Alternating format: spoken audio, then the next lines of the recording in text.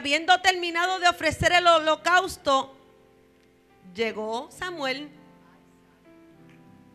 a espaldas, haciendo cosas que no se le había mandado hacer haciendo cosas que no era el tiempo, porque había que esperar un tiempo para ofrecerlo. Y eso pasa cuando nosotros vemos que la, celebración de las ofrendas es algo casual, es, es, es una celebración este, como un algún ritual que estamos haciendo, lo tomamos algo liviano. Y cada vez que nosotros ofrendamos al Señor en el tiempo correcto, en el mundo espiritual se desatan bendiciones para nuestras vidas. Pero cuando nosotros podemos saber y entender con revelación lo que es el precio de la ofrenda y qué es lo que Dios quiere, porque muchas veces le damos al Señor lo que queremos y no lo que el Señor quiere para Él desatar su bendición, porque Él es prueba nuestra obediencia. Pero Samuel le dijo, ¿qué has hecho?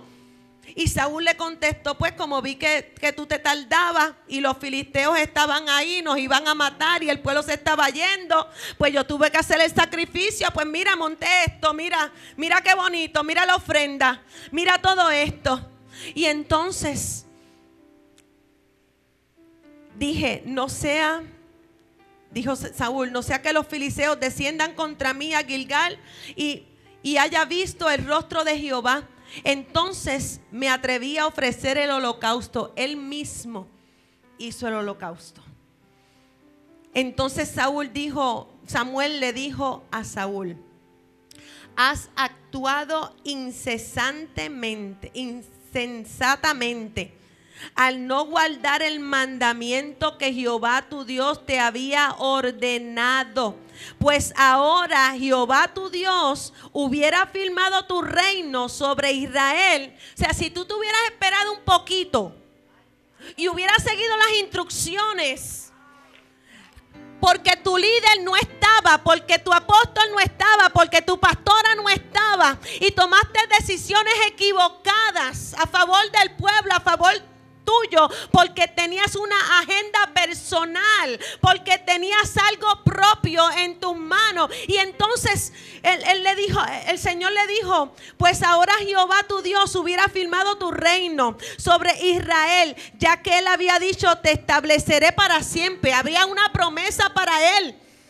Pero él mismo se colgó porque no fue fiel en la ausencia de su líder. Él no fue fiel a lo que el padre le estaba diciendo a través de Samuel.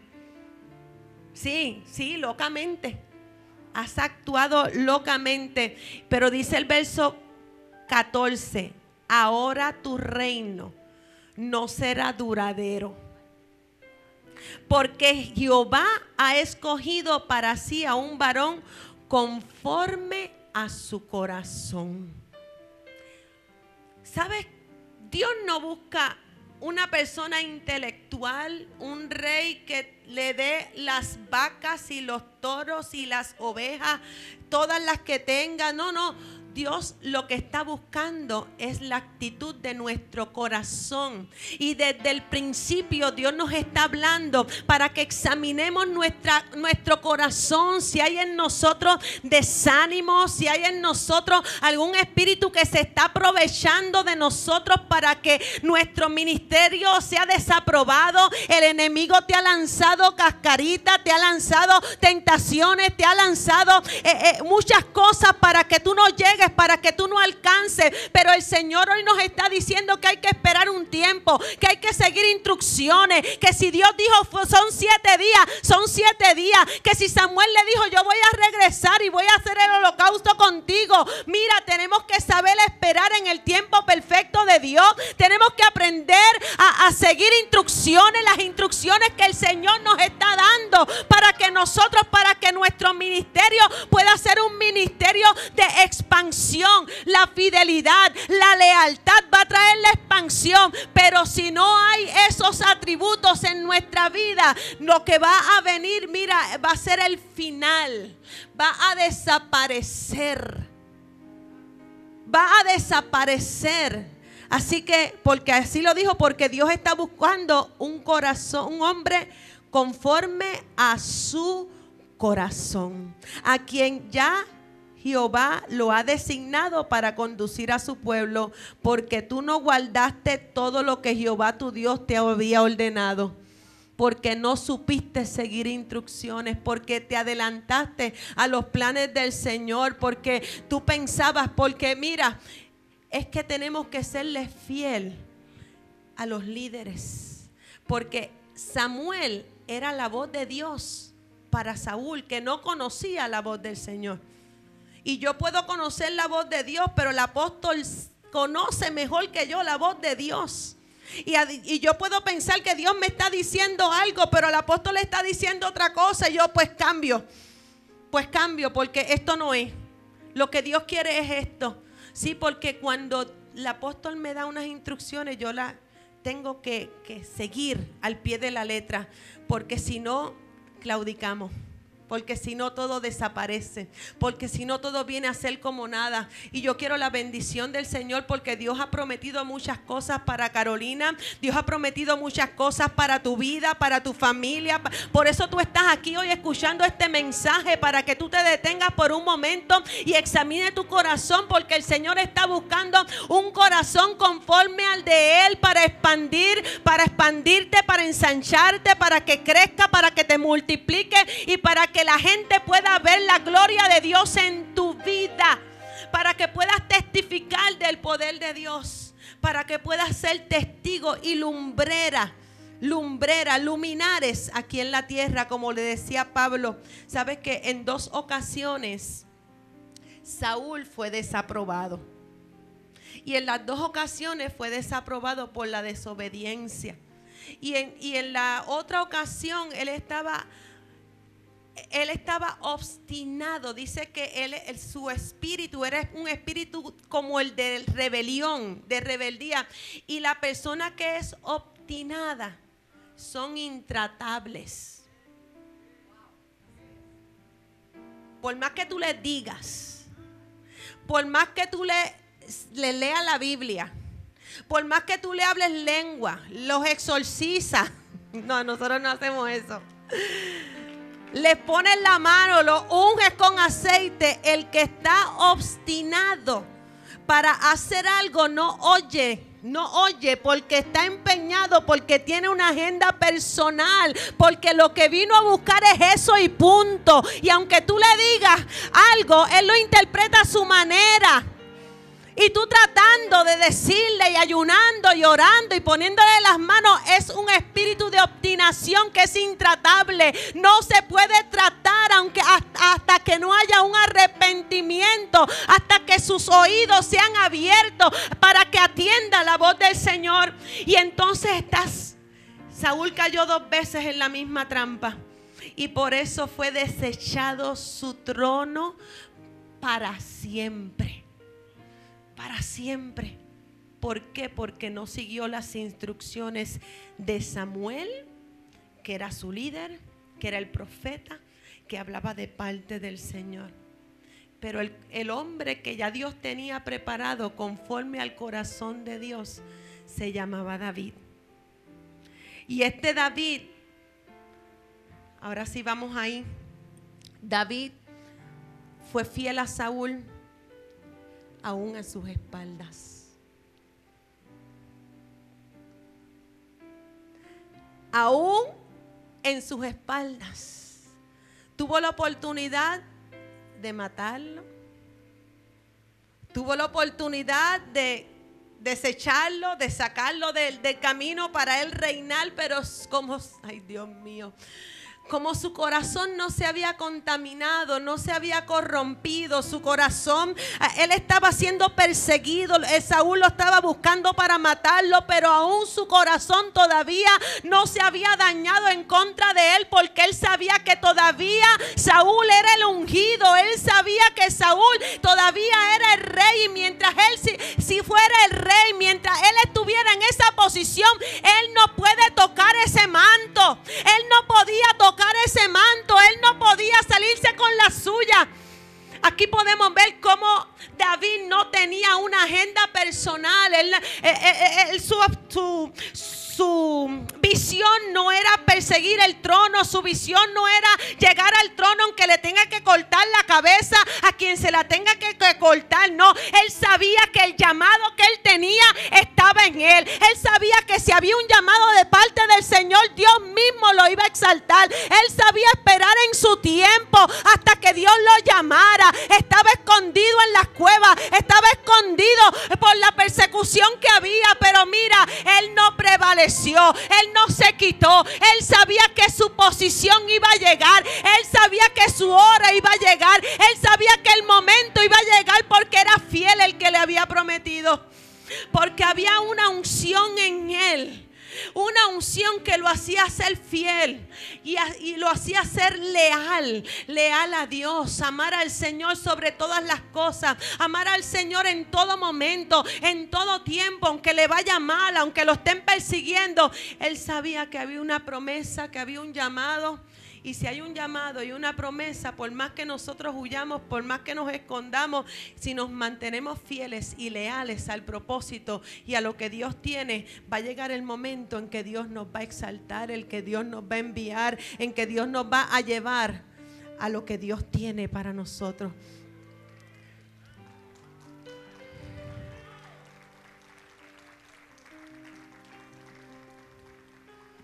Yo llegué a esta casa en el 2002.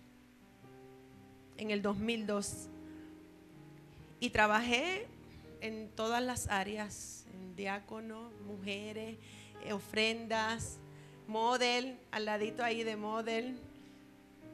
Estuvimos en la iglesia por muchos años trabajando. Y de no ser que el Señor me envía a salir, yo todavía estuviera aquí, apóstol. ¿Sí? Y la decisión de yo salir de aquí, yo tuve que poner a un lado mis emociones, ponerlas a un lado, lo que yo quería, y yo sé que ella también, para entonces hacer la voluntad del Padre, la voluntad de lo que, el que me llamó. Pero nunca me he desconectado de este lugar. Aunque estoy en Carolina a una hora de distancia, yo me congrego aquí, mis prédicas son en, aquí en Toalta. Las primeras prédicas que yo escucho son estas, las de la casa. Las mejores prédicas salen de esta casa. Yo no busco prédicas en ningún otro lugar. Yo mis prédicas, yo las la saco de las predicaciones de mi madre espiritual porque es la misma visión, es lo mismo, porque Dios ha hablado, porque Dios ha dicho de expansión, una extensión, pues tenemos que hablar lo mismo. Tiene que ser una sintonía, tiene que ser una unidad de espíritu. Tenemos caminar en lo mismo. A eso Dios nos ha llamado cuando Dios nos envía. La mayor selección de música cristiana.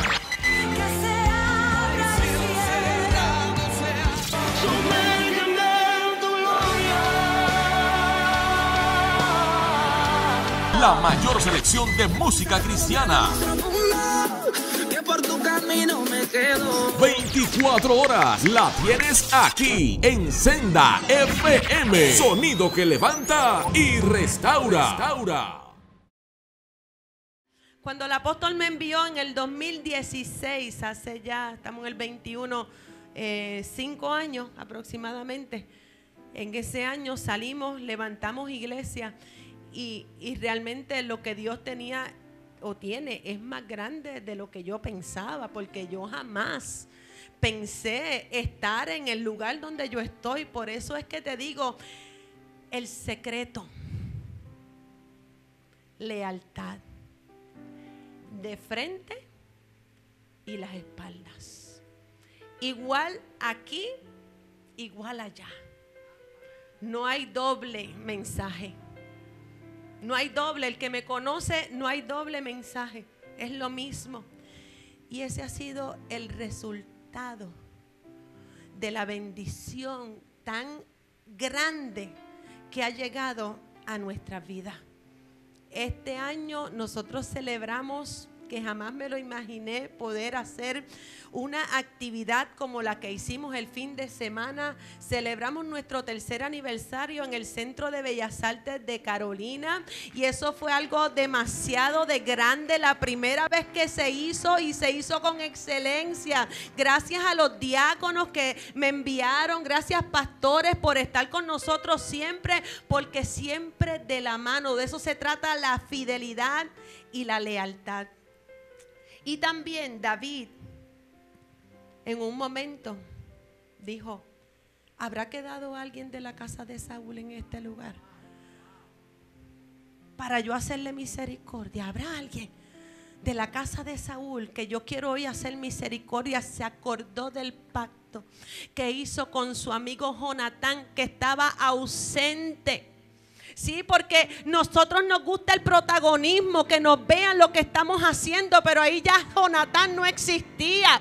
Pero él se acordó que había un pacto. Él se acordó que él con su amigo hizo un pacto y dijo, ¿habrá quedado alguien de la casa de Saúl que en que yo pueda hacer misericordia? Fidelidad, lealtad, aún en la muerte de su amigo él dijo, yo tengo que honrar a este hombre que me salvó la vida, que me encubrió, que me cuidó. Yo tengo que honrar la vida de este hombre. Yo tengo que honrar la vida de esta mujer que vio en mí algo que yo no había visto nunca, que yo no sabía. Yo tengo que honrarla porque los cuidados de ella no se comparan por sus cuidados, por la enseñanza, por lo que ha invertido en mi vida. Sí, porque ella ha invertido en mi vida. Y por eso por eso yo le doy la gloria al Señor por la cobertura y donde quiera que me paro, yo me siento honrada, yo me siento dichosa, yo me siento orgullosa del lugar y de la casa a la cual yo pertenezco. Dáselo más fuerte al Señor porque esto es honra. Esto es honra, es un culto de honra. Es un culto de nosotros examinar nuestros corazones. Y decir si estoy un poquito enchismadito porque algo que pasó ay no, déjame, déjame arreglar las cuentas, déjame ir allá porque yo mañana es 1 de abril y yo no puedo empezar este mes porque la pastora habló de expansión, la pastora habló de que viene algo grande y si yo sigo en esta condición se va a arrugar mi corazón, se va a dañar mi corazón porque el Señor lo que está buscando es un corazón conforme al de Él para Él bendecirte, para Él engrandecerte, porque la fidelidad y la lealtad trae grandeza y es la grandeza de Dios sobre nuestras vidas.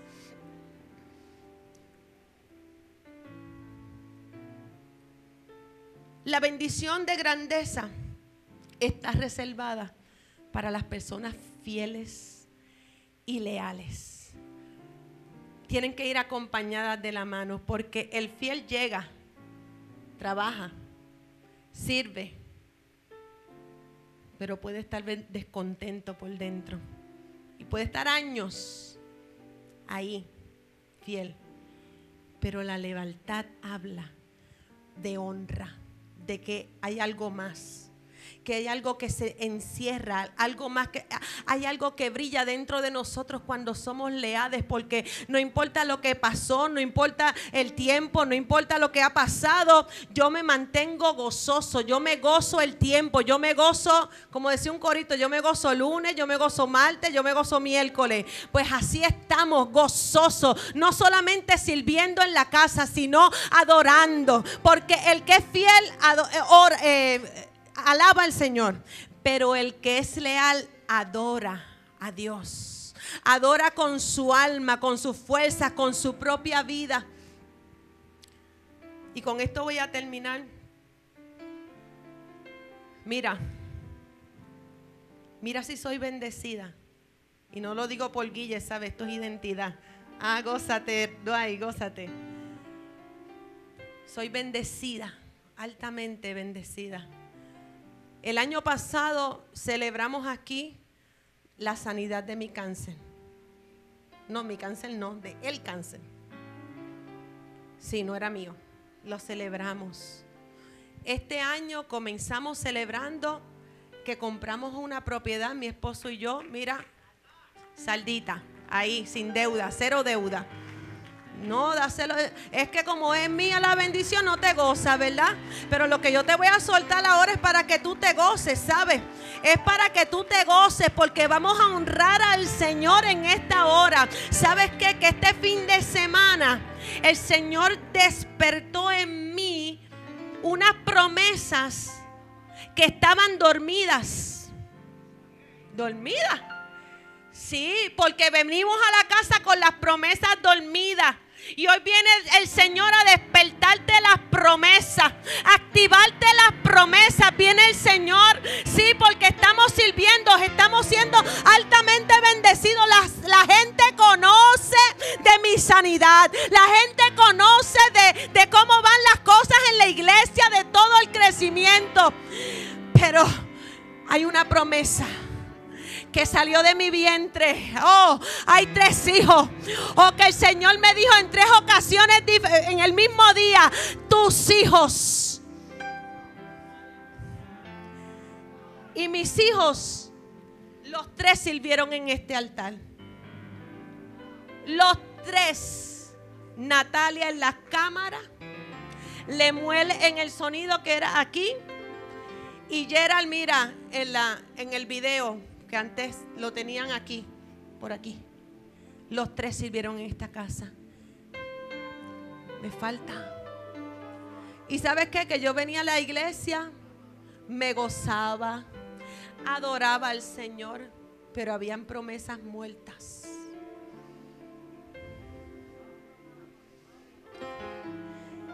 Venimos a la casa del Señor porque estamos acostumbrados y damos ofrendas livianas, sin, sin revelación, ofrendas que, que, no tienen ningún significado, ofrendas sin adoración. ¿Sabes que, que Saúl, una de las veces que él sacrificó Ay, Dios mío, él sacrificó la ofrenda de, las, de las personas, de los hijos de Acab, que él le, dijo que, que, matara. Él dijo, mátalos a todos, destruyelos a todos, no te quedes con el ganado, mata a los reyes, mátalos a todos. Y él cogió, se quedó con los reyes, se quedó con las vacas, se quedó. Y entonces cuando vino Saúl, porque eso fue a espalda de Saúl, porque Saúl no estaba. Perdón, de Samuel, de Samuel no estaba. Por eso es que tenemos que ser leales en presencia y en ausencia. Y, y entonces llegó Samuel y él se quedó así y la, y la, la vaca, ¡mu! Y el becerro ve y que son esas ofrendas y que son esas vacas. Ay, es que el pueblo se encariñó con esas, esas vacas y se las van a adorar al Señor, se las van a entregar al Señor. Y eso no fue lo que el Señor le pidió. Eso no fue lo que el sacrificio, porque antes del sacrificio está la obediencia. Está nuestra obediencia al Señor. Y venimos a la casa del Señor y le entregamos una ofrenda como si el Señor necesitara nuestro dinero. Ay, la ofrenda, pues voy a ofrendar. No, cuando nosotros ofrendamos al Señor tenemos que hacerle memoria al Señor. Tenemos que decirle al Señor, esto es por mis hijos, esto es por mi familia, esto es por mi esposa, esto es por mi esposo, porque hay promesas que van a ser activadas a través de una honra. No podemos venir a la casa del Señor y alabar simplemente, sino que tu adoración sea extrema, esté diciendo, yo necesito algo más. Está bonito la casa, está bonita la salud, está bonito todo lo que me has entregado. Pero yo y mi casa, oh yo y mi casa, mis hijos del norte, del sur, del este y del oeste, mi casa entera le servirá al Señor.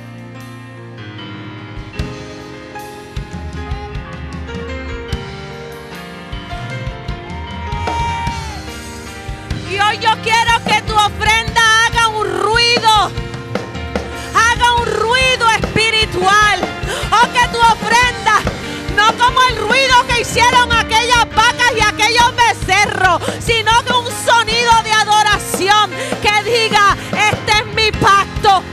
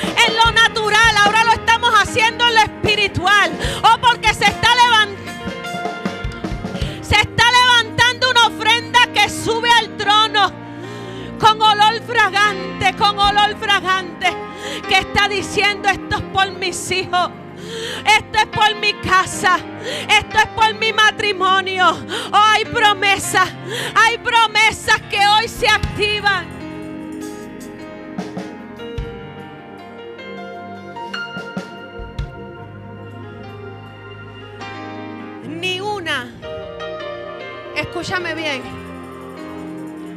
Ni una de las palabras que el Señor me ha dicho en este lugar ni una ha quedado sin cumplirse.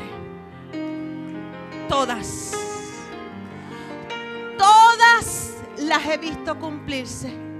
Y ahora yo voy a pactar, apóstol, en las manos de mi apóstol.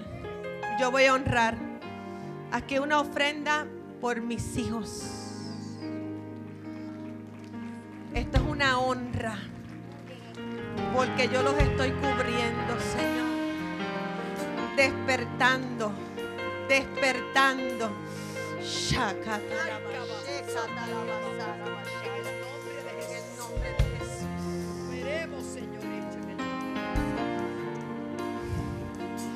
Oh, yo creo que tú lo puedes hacer mejor. Hoy yo creo que vino una activación de propósito. Hoy yo creo que vino una activación de promesa. Hoy yo creo que vino una activación. Lo que estaba dormido o lo que estaba seco cobra vida. Lo que estaba dormido se levanta. Y aún lo que estaba muerto resucita. Resucita. Resucitan los sueños. Resucitan los sueños. Resucitan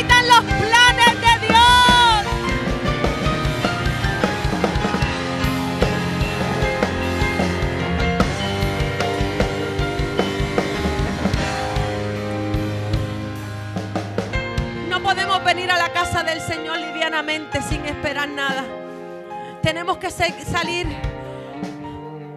con nuestras manos llenas, con nuestro corazón lleno, sabiendo que Dios, una vez Dios habló y dos veces he oído esto, que de Dios es el poder Oh, de Dios es el poder. Así que no importa cuán difícil se vean las cosas. Si tu corazón se mantiene fiel y leal. Porque Saúl le falló a Samuel. Y por eso su trono fue deshecho completo. No quedó ni uno. Pero David fue leal. Y el Señor dijo, detrás de ti se sentará uno. Siempre, siempre se sentará uno de tu casa en este trono. Siempre. Hasta que llegó Jesús. Jesús que vino para libertad hoy se sentó en el trono eternamente y para siempre. Y juntamente con Él nosotros estamos sentados siendo herederos y coherederos de la victoria y de la gracia que el Señor derrama para cada uno de nosotros.